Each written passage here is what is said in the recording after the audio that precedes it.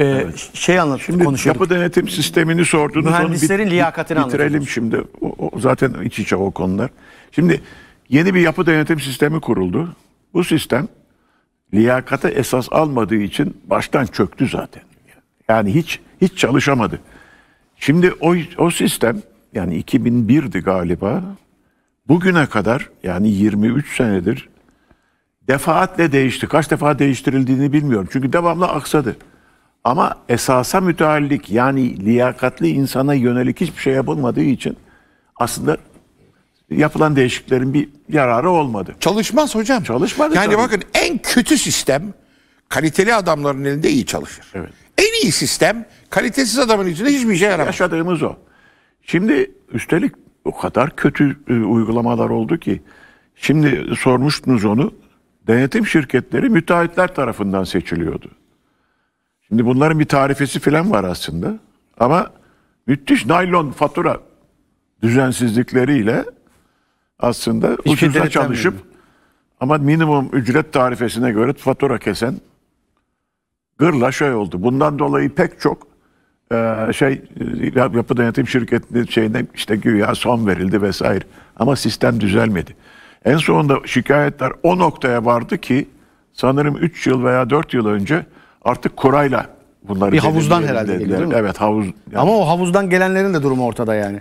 e- ehil değil ki adam yani ama işte hani bu işin o tarafını biraz ne kadar düzelttiler bilmiyorum yani. O kura sistemine geçtiler çünkü hakikaten bir büyük bir yolsuzluk kaynağı oldu. Yani. E, Düşünebiliyor musun? Ya bak ben buna bir şey daha ilave edeceğim.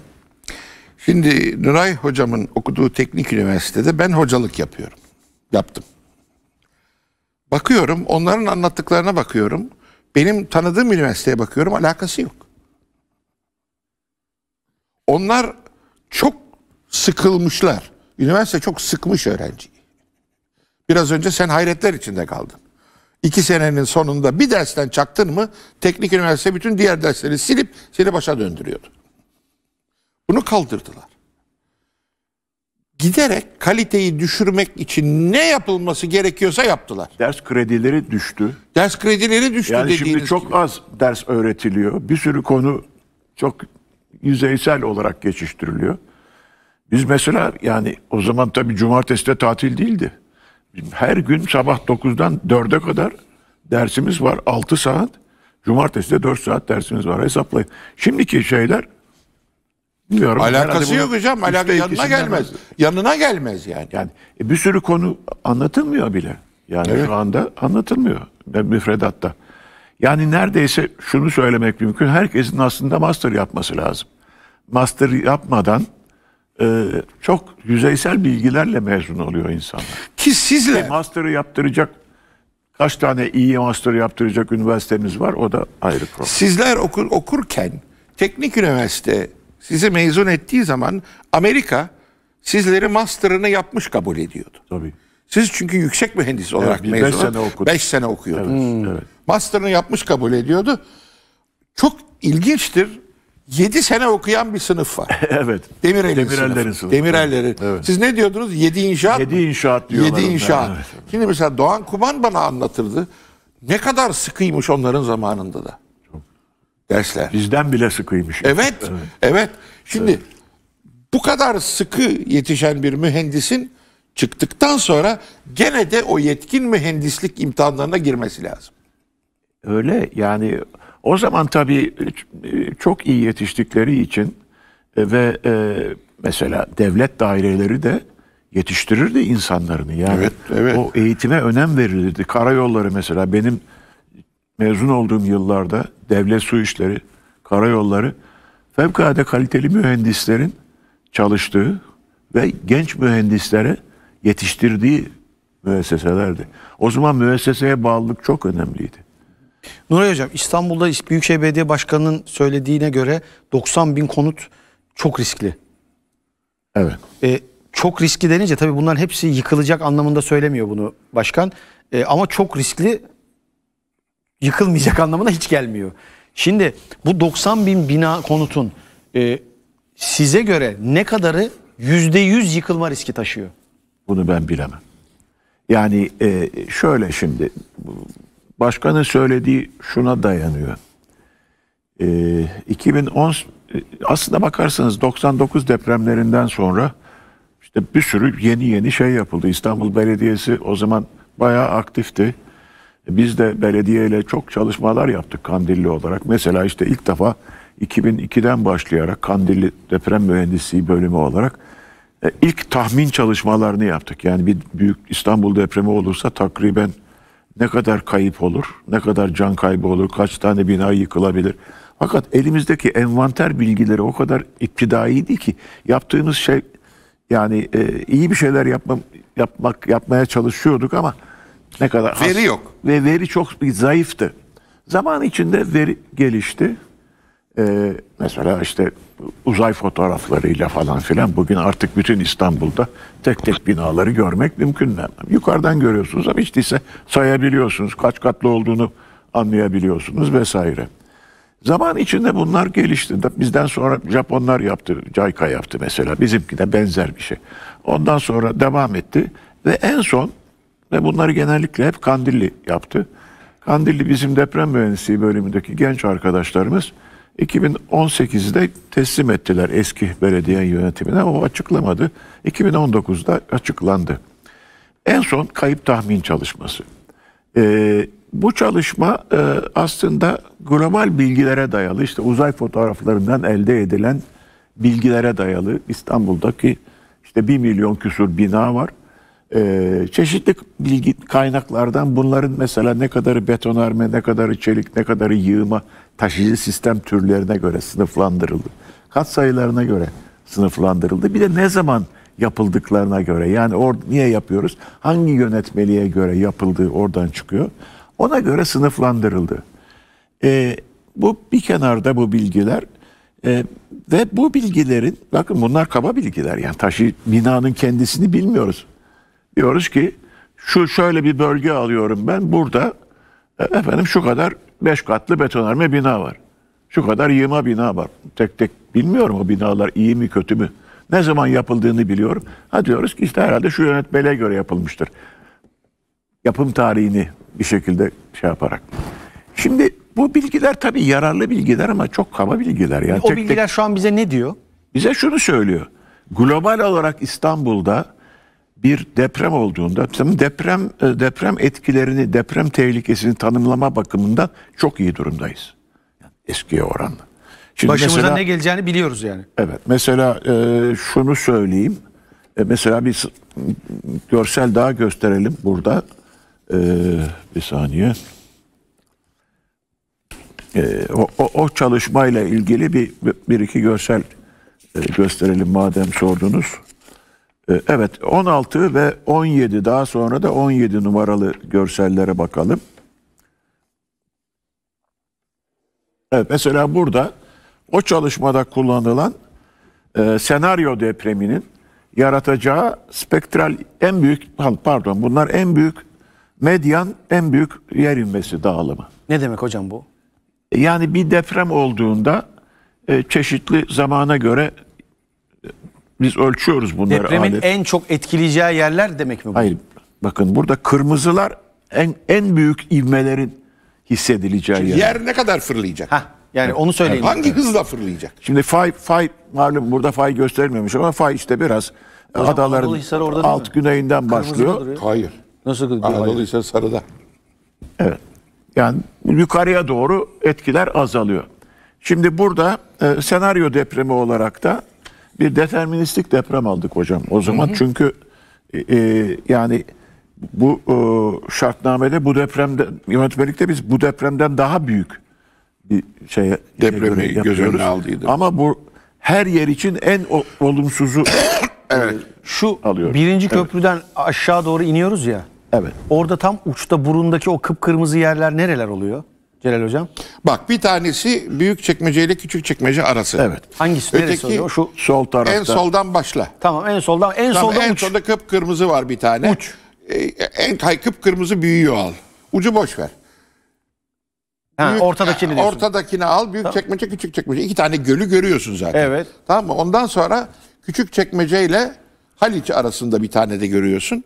Tamam? Onlar sahile paralel giden yerler. Oralar semt olarak nereler oluyor? Bir Oralar işte büyük çekmece, küçük çekmece, avcılar, e, İstanbul'a doğru geldiğinde Samatya, Yedikule falan gibi yerler buralar. Tamam mı? Ondan sonra karşı tarafa geçtiğin zaman işte Fenerbahçe, biraz daha ileri gittiğin zaman Kartal, Tuzla falan senin büyüdüğün yerler. Evet.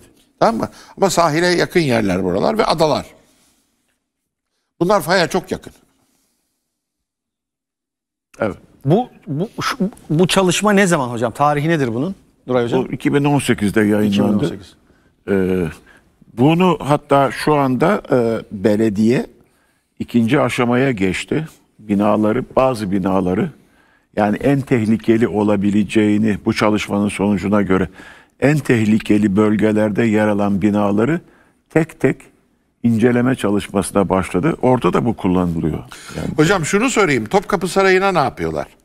Siz Ümit Hoca'yı tanırsınız mimariyle, betonarmeciydi. Evet, evet. Ümit Hoca rahmetli hayattayken Filiz Çağman Hanım Topkapı Sarayı müdiresiydi. Bir gün bana dedi ki ya Celal bir gelip baksanız dedi Topkapı Sarayı'na. Dedim tabii ben anlamam ama ben dedim sorayım. Doğan Kuban Hoca dedi ki Ümit'i al git dedi. Ben Ümit Hoca'dan rica ettim. Ben o gün Ümit Hoca'nın asistanlığını yaptım resmen. Elimde defter. Ümit Hoca gitti ve çok ürkütücü şeyler gördük Topkapı Sarayı'nda. Ne gördünüz? Mesela hazinenin ön duvarı ayrılmak üzere. Kaç yılı bu? Bu depremden hemen sonraydı. 2000 falan. Ondan sonra hocam epey çalışma yapıldı. Ben- Yapıldı ben, mı? Ben kişisel olarak o çalışmalara katılmadım ama yapıldı. Yani Ya Topkapı Sarayı tarihi desteklendi mi? eserlerle ilgili yani tarihi mirasla ilgili e, çok büyük ilgi var. O zamandan beri projeler de geliştirildi. İşte Ayasofya başta olmak üzere e, bütün camilerle ilgili biz Kandilli'de çok iş yaptık mesela. Evet. Fakat İlber bana Topkapı'da fazla bir şey yapmadılar diyordu. Ben mertebelerini bilmiyorum hocam. ben de bir şeyler bilmiyorum, yapıldı ama yani bir takım projeler uygulandı. Fakat e, ne mertebede e, olduğunu hakikaten bilmiyorum. Şimdi belediye bu harita üzerinden birinci derece riskli binalara yönelik bir Şimdi başka o çalışma. envanteri çıkardık ya. Bu, bu da deprem tehlikesi. Bu deprem tehlikesinde o envanterdeki bilgilere tabii bunlar yaklaşık yani düşünün tek tek bir bina değil. Ama güzel e, şeylerimiz var, e, tekniklerimiz var. Yani e, özellikle 1990'dan bu yana önce Amerika'da başlatıldı. E, çok güzel. Yani Amerikalılar da bu işe işte bizden 10 yıl önce falan başladılar. Biz onların yöntemlerini aldık. Hakikaten e, çok mantıklı, çok e, şey dediğimiz gibi çok kaba bilgiye rağmen iyi bir fikir veren bir şey. Onları uyguladık. Mesela hasar görebilirlik eğrileri çiziyoruz. Bir sonraki 17. slayda bakalım. Ee,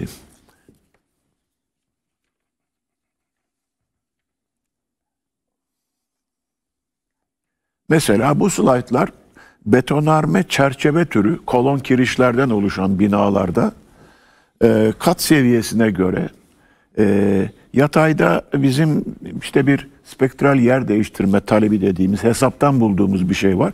Düşeyde ise bu e, kümülatif hasar olasılığını gösteriyor. Ne diyor hocam bunlar bize bu tablo? Yani biz bu eğrilere girince e, falanca bir bölgede e, diyelim orta hasar görme olasılığını hesaplıyoruz. Olasılığını hesaplıyoruz. Diyoruz ki bu, bu şeyde 5 katlı çerçeve türü binaların orta hasar görme olasılığı yüzde 25'tir mesela. Ne yapıyoruz sonra? O bölgedeki o şeyi sayıyı o olasılıkla çarpınca işte orta hasar göre, gören binaların Şimdi mesela mertebesini buluyoruz. en riskli yeri neresi Celal hocam? En riskli yeri Yeşilköy, Bakırköy ve Tuzla. Yeşilköy, Bakırköy ve Tuzla'da 30 katlı beton bir binanın olması bu eğriye göre ne diyor? Ya bu eğri öyle bir binaya ne diyor hocam? Şimdi bakın bir takım hasarlar gösterebilir ama yani bana öyle 30 katlı şu bina diye sorarsanız ben kesin bir şey söyleyemem. Bunlar global şeyler. Bunlar yüzde yüz çünkü hangi bina olduğunu bilmiyoruz burada. Dediğim gibi orada uzaydan baktığımız saydığımız Binanın binalar nasıl var. yapıldığını bilmiyor.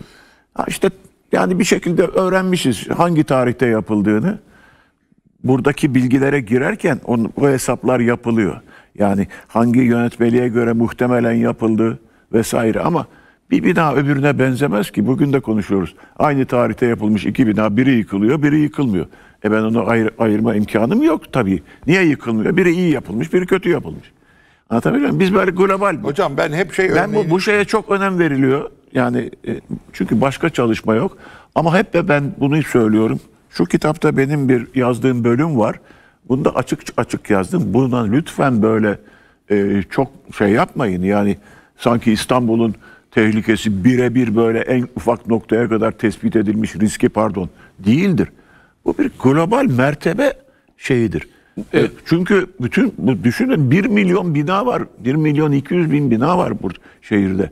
Yani tek tek bakmaya kalksanız yıllarca bitiremezsiniz. Şeyi biliyor muyuz hocam? 99 depremi sonrası bir dönüşüm başlatıldı. Yani özellikle ben son 10 yılda 5 yılda şey görüyorum.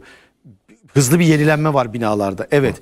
Peki ne kadarlık bir yenilenme? Yüzde kaç bina stoğunun ne kadarı değişti, yenilendi bunu biliyor muyuz? Ben bilmiyorum. İstatistik var mı onu da sanmıyorum olduğunu.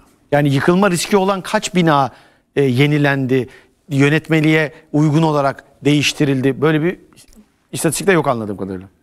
Tam güvenilir bir istatistiğimiz yok. E, şu bu depremde 2007 yılından beri mevcut binaların değerlendirilmesi ve güçlendirilmesi için yönetmeliğimize bölüm özel bir bölüm eklendi. Daha önce yoktu.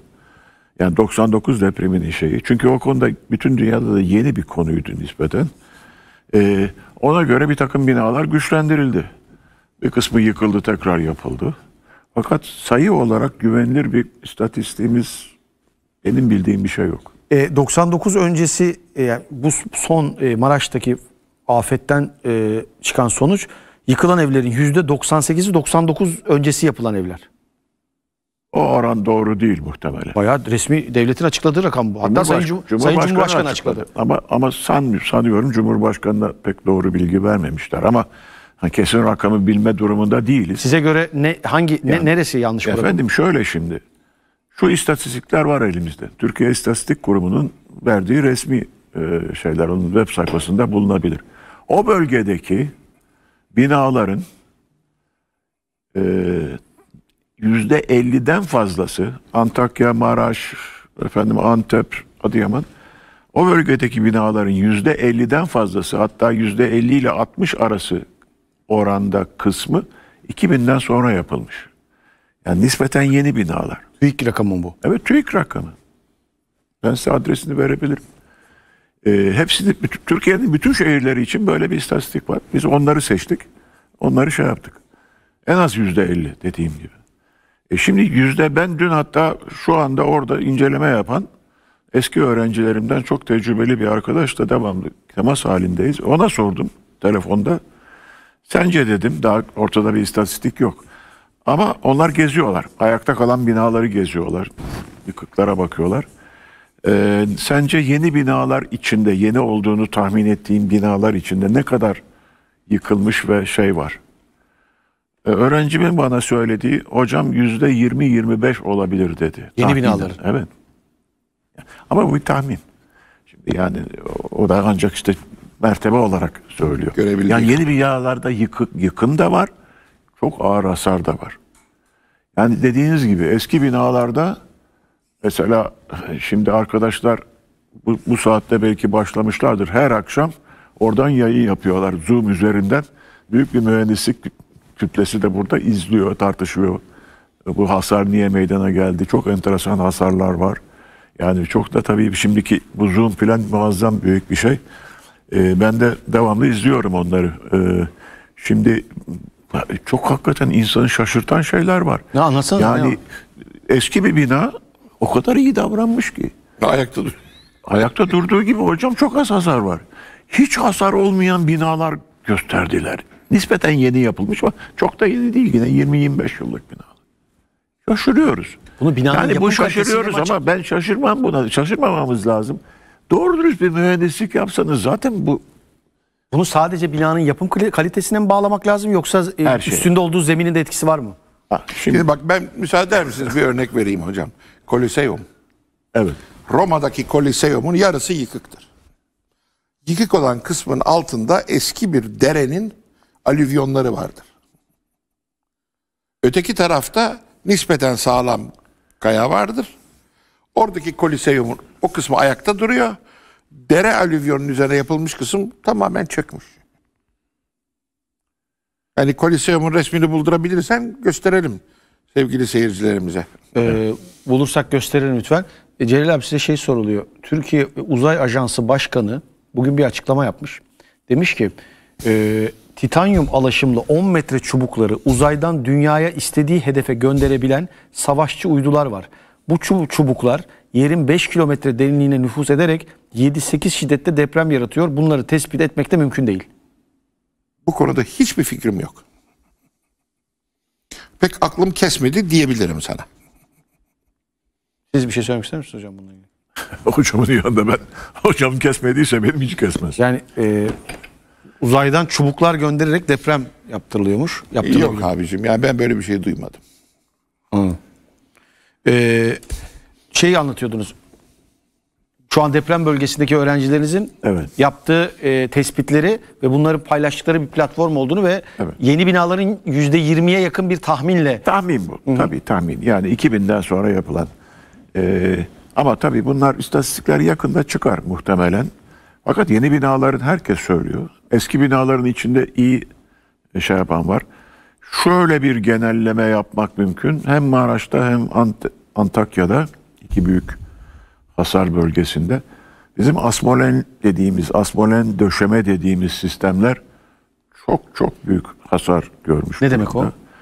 Efendim böyle bir doğrul- doğrultuda küçük diş kirişçikleri olan arasına eskiden tuğla şeyler e, bloklar koyduğumuz dolgu maddesi olarak son 10 10 yılda vesaire o tuğlalar yerine daha hafif olsun diye strofor bildiğimiz Yok daha neler. strofor Köpük. köpük onun onu yani dağıtmamak için söylüyorum bu kitapta hepsi var yani Yo, lütfen dağıtın bu çok önemli bir şey söylüyorsunuz. yani o, o köpük yanı, onlar yanıcı, alevlendirici. Kullanılanların büyük çoğunluğu çünkü kontrol edilmiyor. Kontrol diye bir şey yok. Bunlar yangın yönetmeliğine de aykırı. Şimdi burada olmadı neyse ama bakın yangın çık, çık depremlerden sonra çoğu zaman yangın çıkar. Hatta bizde olmaması çok büyük bir şans. Eğer bir yangın çıksa o stroforların yarattığı Hocam bu özür dilerim. Şey kolezyumu verdi arkadaşlar Celal hocam. Kolezyumu gösteriyorlar arkadaşlar şu an Ha. siz verin ya. Evet, ha işte bakın. Gördün mü? Yarısı yıkılmış. Evet. O yıkılan kısmın altından dere yatağı, eski bir dere yatağı geçiyor. Nuray abi şey- e, şeyden bahsediyordunuz. Straforla yapılan Evet. e, Şimdi onlar onlar eğer yanarsa onlar zehirli gaz neşrediyorlar. İtfaiyeciler oraya giremiyorlar. Yahut normal bir yan bırakın depremi normal bir yangın olsa aynı binalarda depremden bağımsız. Aynı olay var. Cinayet bu be.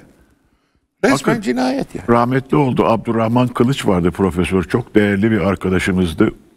Bak İTÜ Makine Fakültesi öğretim üyesi vefat etti maalesef. O, o onunla ben çok görüşmüşümdür. Ee, hatta ben açık radyoda bir afetler konusunda bir programın 20 yıldır programcılarından biriyim. O onun çeşitli defalar davet etmişizdir. O yani ilk yazılan yangın yönetmeliğinin de yazarlarından biridir. Onun çok enteresan şeyleri vardı. Ya anlatmıştı radyoda bize, kayıtlarda durur. Ee, bakın böyle böyle şeyler var. Ama şimdi biz o stroforu bir tarafa bırakalım. Bu sistemler taşıyıcı sistem olarak iyi değildir. Eskiden beri bunları e, kullanılmamasını tavsiye ettik. Kısıtlamaya çalıştık. 2018 yönetmeliğinde artık iyice kısıtlandı. Hala bir de kısıtlandı, yasaklanmadı yani. Ama iyice kısıt. Çok alçak binalarda yapılabiliyor vesaire yani. Çok bir sürü de koşula bağlı. Yasaklanmaya yakın bir şey söyleyebilirsiniz. Ama eski, eskileri var tabii.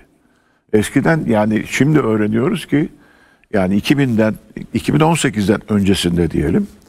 Ee, çünkü bu bunlar çok uygulanılıyordu ve yani e, o kadar büyük baskı vardı ki yönetmeliği hazırlayanların üzerinde. Bazı mühendisler de bunların o kadar kötü olmadığını iddia ediyorlardı vesaire. Onları iyileştirmek için bir takım tedbirler alındı fakat çalışmadığı görüldü.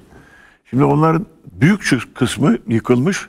Ayakta kalanlar da tabii kullanılmaz halde tesadüfen ayakta kalmış. Nuray abi işte Mesela bunlar bunlar işte bir takım ayrıntılar. Daha pek çok şey var. Şunu demek istiyorum. Binaların bakın gündemde olan ne?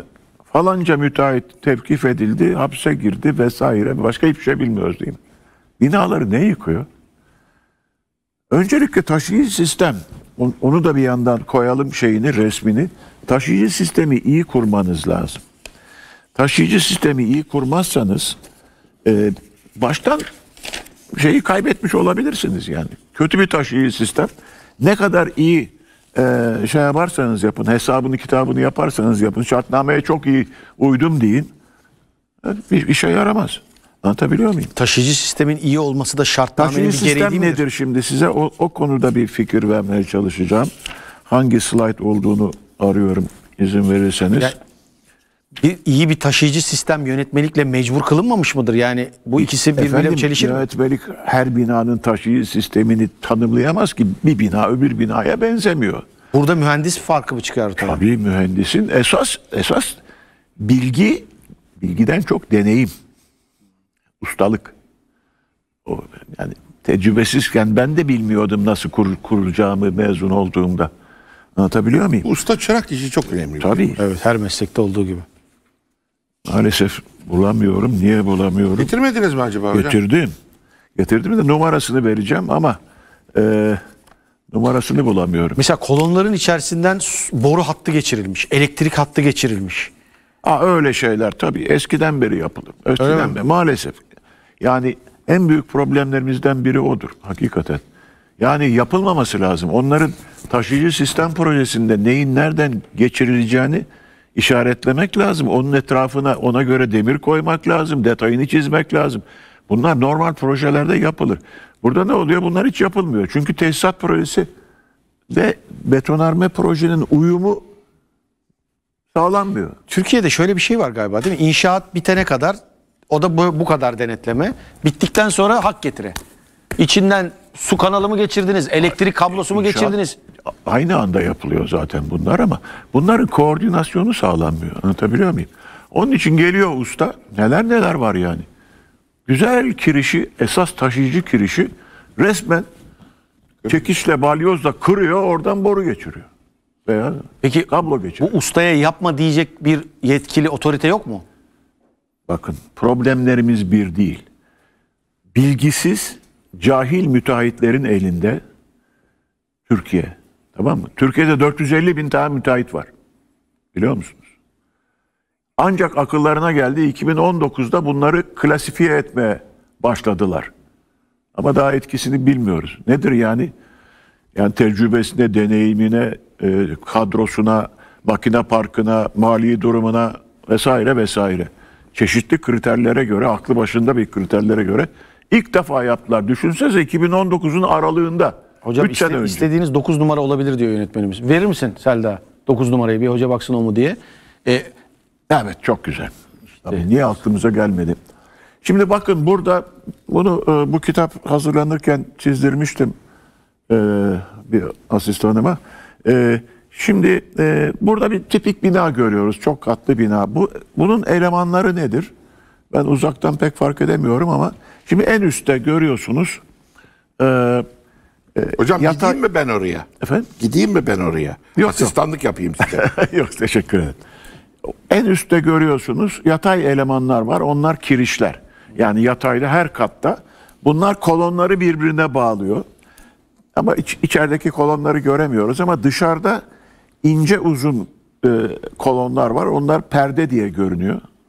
Yani perde dediğiniz ince uzun kolon ama perde metrelerce olabilir genişliği. Bakın onlar var.